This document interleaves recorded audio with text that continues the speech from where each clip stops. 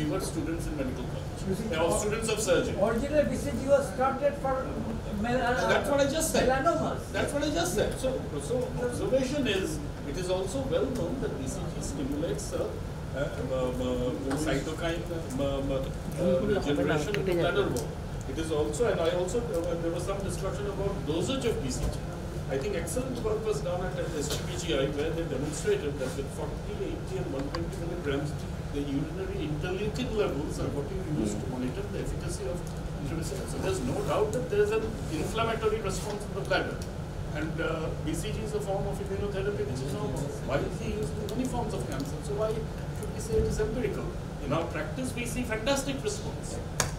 Another thing, we are in, not in a position to comment whether it works really and how much it prevents the recurrence of the It has unless and it has been until, found- found to unless and until you really rigidly follow each of your patients for years in way that in order to prove or disprove the progression or recurrence. So I think when the when the options are losing your bladder and maybe accepting the toxicity, uh, it's a very I mean uh, difficult situation, and patient will opt for BCG toxicity rather than losing the bladder. And uh, any, any, any combination in time? And I think the real problem which sir has No, sir. raised is quite correct. IL-10 or IL-2 combination? Uh, no, sir. Uh, actually, there were pre- previous studies with IL-2 and BCG, but they have not seen clinical use. So we are, BCG is useful, we all, we all know. Still use it empirically, not scientifically, because we still don't know how and why it works. Well, I, I, but one thing is probably I don't know if everyone will agree that there is a bit of overuse of BCG, which I think the point Dr. Basuva and Dr. Chaudhary was making, that uh, mitomycin is very efficacious treatment for a large population of patients which are presently treated by intravenous BCG in many practices. I'm not, Right, sir. uh, you can't single out. so uh, right, sir. The choice, uh, maybe uh, choosing the patient is important, and uh, intermediate risk patients because many patients are intermediate risk can be benefited with mitomycin rather than giving the BCG. If I may diabetic. Three terms are very confusing to students particularly. One is the BCG refractory, BCG recurrence and BCG So relapse. much so, Uh, please, uh, Prize for that. Elaborate those three Will terms. anybody Yes, sir. Anyway, so BCG refractory. The patient has taken two induction therapies, two induction therapies, that is six plus six doses, waited for at least six months, and there is either recurrence or persistent or It's progression. active, Yeah, not not effective at all. It's the refractory. BCG intolerance, you know, BCG, the patient is not tolerating BCG intolerance. BCG relapsing, the patient has responded to BCG, there was no, re- but subsequently after that, he has recurrence again. So it's called Resistant relapse and refractory are. Recurrence, recurrence and relapse. relapse. This is all relapse basically. So these are There should be some difference between recurrence and relapse. recurrence and relapse. I'm very sure. Very sure. Refractory is intolerance and relapsing. They are three separate things. Along with that, there is recurrence. Recurrence. There's probably some time difference. But for rel- uh, refractory, you should wait for six months, at least two induction therapies. That means 12 doses before. Because it's an immunological reaction, and immunological reaction you have to wait for some time to say this is not working, and there's a optimally I think every six months. I have some cases to discuss. So can we go ahead or maybe you stop? No, no, thanks. I think we had a very stimulating discussion, so I think let us move to uh, your case then. I think that is.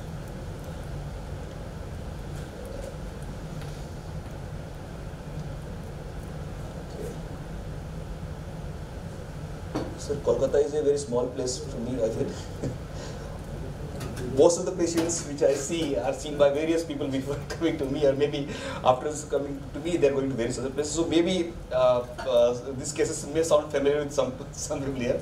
So, so this is a case uh, around a 68-year-old male. Uh, the son is a doctor. I mean, he is my colleague basically. Yeah, that is.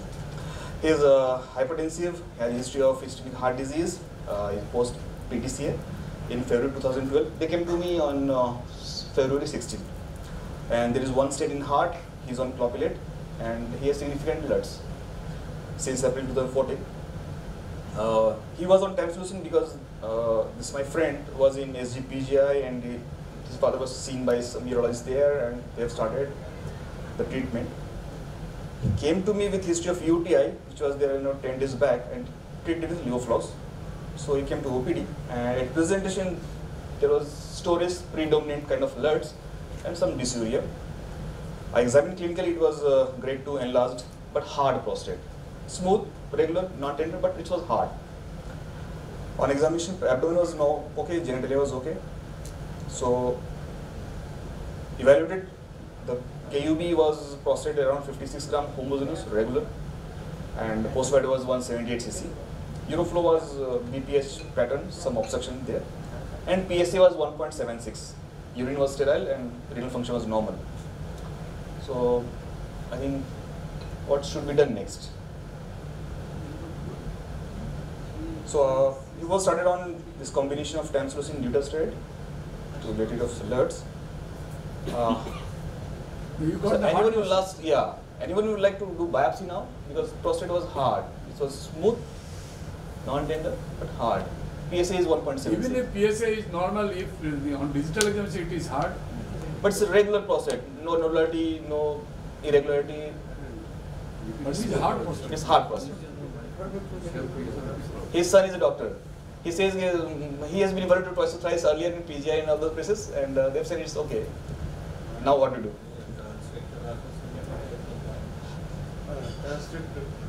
As a urologist, you should have an opinion. Right. If you say that's a hard prostate, uh, the natural question is, do you suspect cancer? If you do, and if, there's no, if the hardness is associated with other associated findings like loss of median sulcus or lateral groove, or then- then I think you've got every reason to, to, suspect. I think hard prostate. is good and present to do a biopsy. I think, Yes. but it was not done, and it was not done. anyway, so uh, this is the EU guidelines, and uh, the prevalence of prostate cancer with the PSA being normal, around 26 percent in the range of 3 to 4, around 10 percent in the range of 0.6 to 1. So basically, this was for PCs, but they are not there. So This is the observation now of the PCT trial. Yes, sir, PCT trial, yes. Established that uh, no PSA is normal. no PSA is the safe PS. Say PSA. yeah. So he was treated with this uh, tamsulosin and dutasteride, went home, but next time he came with UTI and retention theory. So UTI was treated, clopidogrel stopped, and TURP was done. Biopsy was suggestive of high-grade invasive prostatic urothelial carcinoma. Urothelial carcinoma. Yes. So, uh, sir, do you expect the biopsy report? Is it expect, expected? Absolutely, and that- It's unusual kind of biopsy. Maybe I should look for some review. And if you had uh, done transguided biopsy, you may have missed it. Yeah, maybe.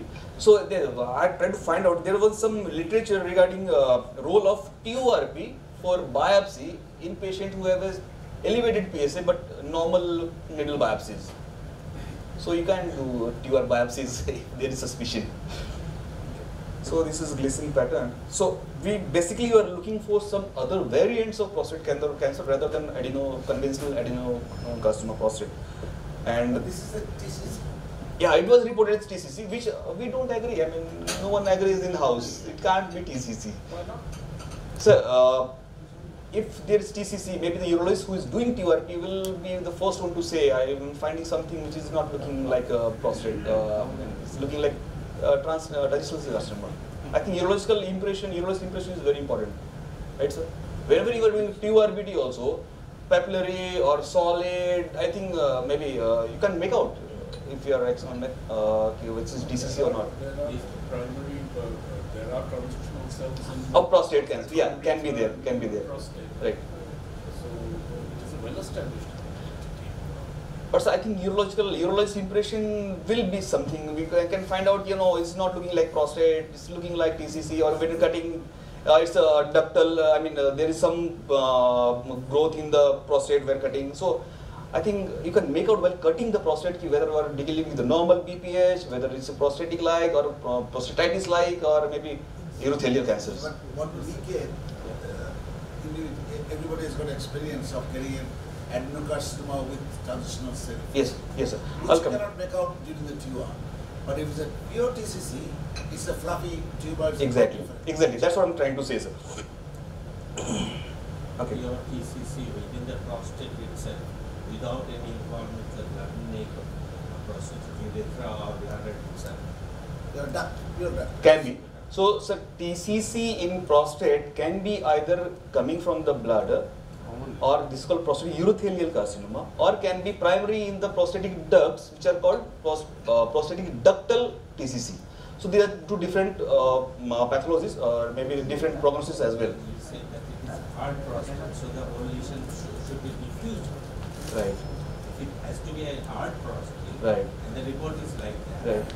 And it is expected that it was involved in almost all. almost all the prostate lobes. But it was not looking like that. So that's why, so that's why it's got reviewed and on review, some other pathologists say it, it's a prostatic adenosine, Gleason 4 plus 5. And uh, what I was asking, what about this, why not this TRUS was done? uh, TRUS was not done, we- sir. Should we do it if you suspect a hard prostate? Yes, sir. Yes, sir. So- if this uh, PSA is known. So everyone agreed, sir, that TRUS biopsy should have been done that time, it was not done. TRUS Sorry, on review, it has turned out to be biopsy. adenosine. Biopsy should have been done, sir, which was not done. Not urothelial. Yeah, it's a mistake. No, no, suppose in TRUS, at least you can have some idea, yes, there is a localized lesion or a swell or something like that, not even go for biopsy. There was a possibility. Yes, yes, but sir, missing the chances, missing the uh, lesion on TRUS when it's a urothelial cancer is very high, I think, on needle biopsies. You said that No, the whole prostate was hard. Yeah. Most of the, well, Actually, they believed in uh, this PSA level, Right. thinking that this is maybe prostatitis. But, but prostatitis is no PSA. That but also high. increase high, but So that is not the sometimes the prostatitis may be. So there, I mean, completely agree. Prostatitis can have hard prostates. No, no, no, no, in that case, this PSA should be high. No, that PSA may be- May, may not necessarily, sir. It's not necessary. Chronic prostatitis may not be, PSA may not be higher. Normally it is. Yeah. So the thing is, so there is no controversy. At that time, biopsy should have been done, which was not. It's a mistake. So now we reviewed the PS, uh, reviewed the biopsy. It was Gleason 4 plus 5. 90% of tissue was positive for cancer, and IHC was PSA positive, MACR positive, HMWCK negative, CK56 negative. Now we said that prostatic adenocarcinoma. Yes, So the diagnosis has been changed. changed, completely changed. So now, do you agree with this biopsy report? You see, in our practice, we see both spectrum. Some cancers of this area are very odd, especially in the bladder neck area uh, and the prostate area. So the reverse also we have experienced. That someone diagnosed as prostate cancer treated by hormone therapy for two years and then uh, comes in and has a, uh, progression of disease and then you get a the histopathology is tran- uh, transitional. So Right. these are atypical histology. You have to depend on the pathologist. pathologist. I'll come back. Okay, so uh, immunohistochemistry, these are something that in short, PSA positive is strongly for adenosine, AMACR positive is strongly for adenosine prostate, HMWCK negative is TCC ruled out. HMWCK negative, TCC ruled out. CK56 negative, this is very important. CK56 negative, adenosine prostate ruled out. It's very confusing. Anyway, so this is again not expected. PSA normal, adenos, uh, CA less than 4 plus 5. Uh, something is wrong in biopsy. Something is wrong. CK56 negative, adenosine is ruled out. So I think it's, something is wrong in Yeah, biopsy. but, but yes, true. But then, then again, the low PSA with the 4 plus 5 is compatible. 4 plus 5 is almost like oat cell. Exactly. So basically we are dealing with cancer which is mixed type of. There is some adenosine, some other variant which is not known to us. So do we need further ICs? So it's looking like pathology class, right, sir? for uh, for neurological markers. Right, sir. So I think you're right, sir. Chromogranin A in serum was done. It was very high. So basically, we are looking with some neuroendocrine tumor kind of pathology here. And unless you do chromogranin and synaptophysin immunocytochemistry or ISC in those samples, you can't make it out. So because this was not done in ISC studies, that's why we missed it. That is why PSA was also. That's why the PSA was normal. PSA doesn't rise. PSA was normal. That's So I will just go through the literature.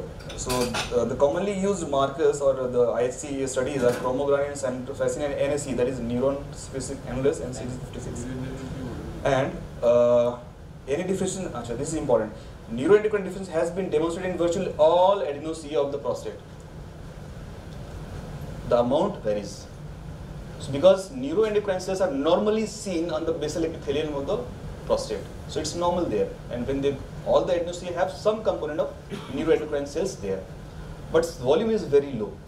And that's why when they have metastasis and the, uh, the disease becomes hormone refractory, it's probably because one of the reasons being neuroendocrine differentiation. The cells or the clone of cells which are neuroendocrine differentiated, they grow more rather than the hormone